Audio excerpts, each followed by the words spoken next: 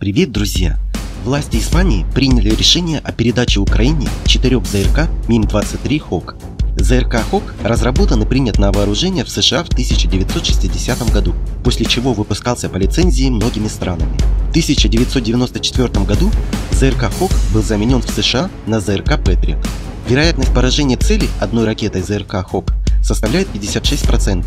Модификация iHawk улучшила этот показатель до 85%. Если сравнить с российскими ЗРК, то аналоги это ЗРК С-125 и ЗРК 2К-12 Куб 60-х и 70-х годов.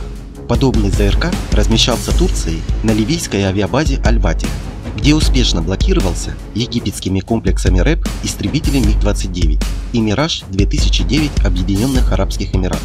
Время наработки ЗРК на отказ 300-400 часов у последних версий. Дальность поражения цели от 1,5 до 35 км. Высота поражения цели от 60 метров до 18 км. Это данные модернизированных версий. На этом на сегодня все. Друзья, спасибо за просмотр. Мы осветим все.